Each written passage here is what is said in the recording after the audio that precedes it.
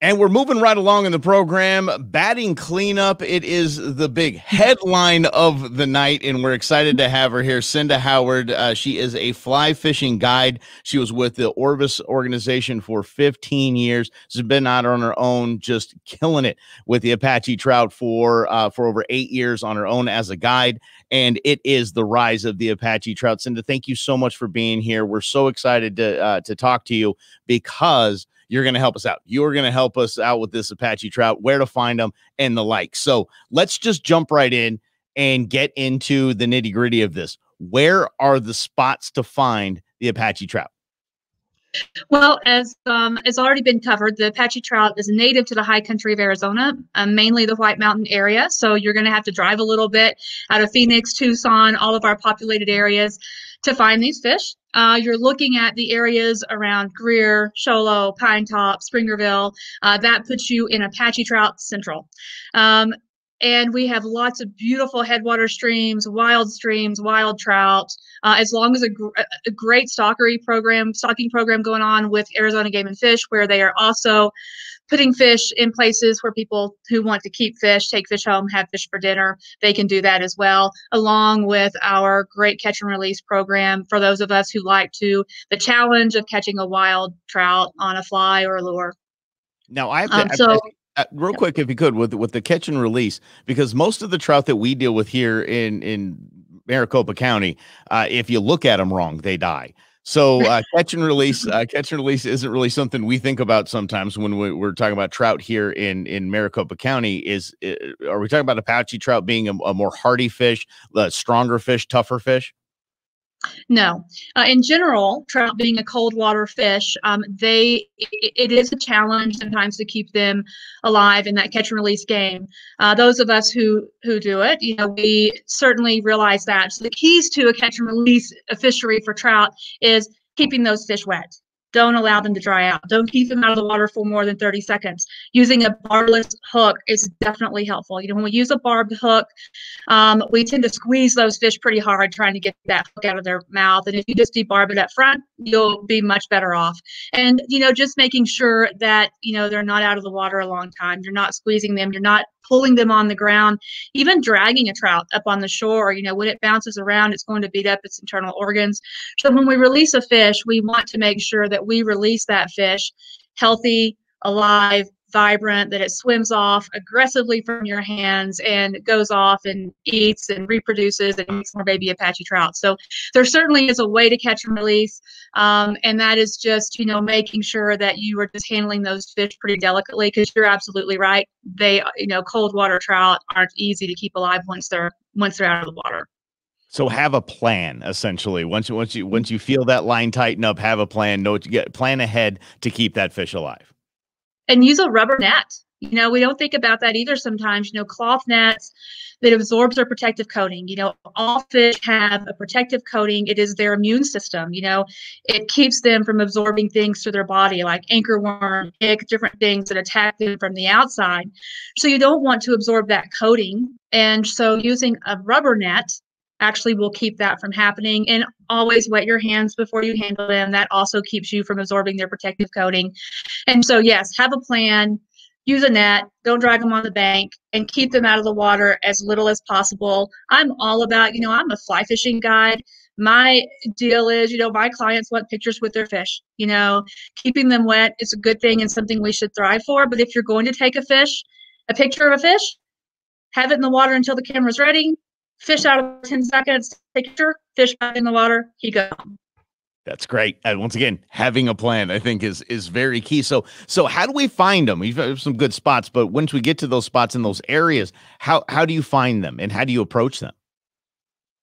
Well, so with any of our wild trout, you know, the approach, you know, our waters are clear, they're small, they're skinny um, you know, into a fish, obviously we're a predator. Anything that makes a movement to a fish is a predator.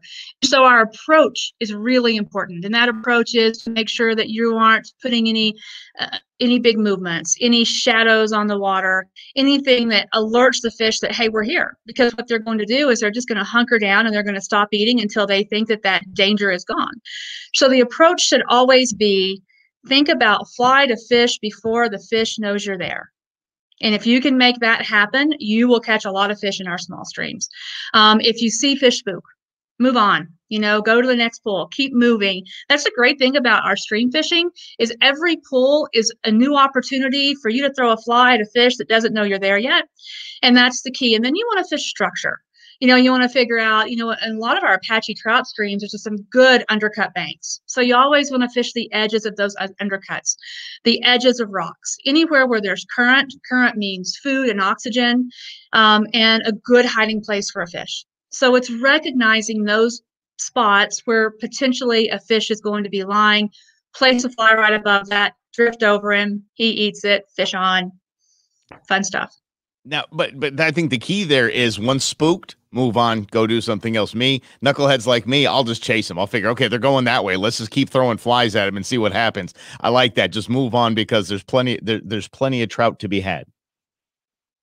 Exactly. Miles and miles of wild trout water, which means, you know, every pool it's a it's a redo. You get another shot at placing a fly to fish and hopefully he eats it.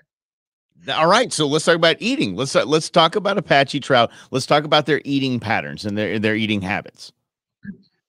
Well, so like most other trout, uh, the majority of a trout's diet is bugs. You know, when you think about a trout, 80% of what they eat is bugs. Those bugs come from the water. Now, they also eat bugs that blow into the water, like ants and crickets and grasshoppers.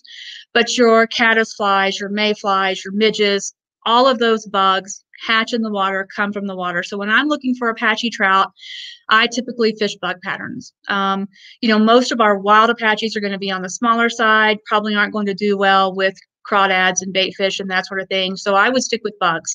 And the great thing about an Apache trout is they love to rise. They love to look up. So fishing on the surface in the summer, lots of times, even if you have a nymph drop below a dry fly, you're still going to get all the fish to come up on the dry. And so, you know, nothing other than a caddis, a um, blue wing olive. Um, one of my favorites is a royal Wulff fly. You know, if you're fishing anytime between May through October, it is dry fly for for Apache trout, and that is the fun of it because they're aggressive. They love to look up. They love to hit on top, and it's a lot of fun. So I would say size of your fly is a lot more important than the fly itself. You know, if you're getting a lot of rejections or a lot of hits on flies and you're not hooking the fly, the fish up, chances are your fly's too big um, I, you know, go smaller. And these fish, you know, are a little bit on the smaller side anyway. So anything, you know, from a 16, 18 dry fly, you're going to catch a lot of Apache trout in the day if your approach is good. Okay. So let's say you said 80% they're on the bugs. What's the other 20%? Other 20%, you know, fish also eat le- leeches, bait fish, crawdads, scuds, um, you know, everything else that's in the water. But trout in particular like to eat bugs. And so trout, which and, is why it's fly fishing. Right, right. But let's let's talk about for, for all the bass fishermen, the bass anglers that are out there saying, okay, well, um, I, I go big bait, big fish.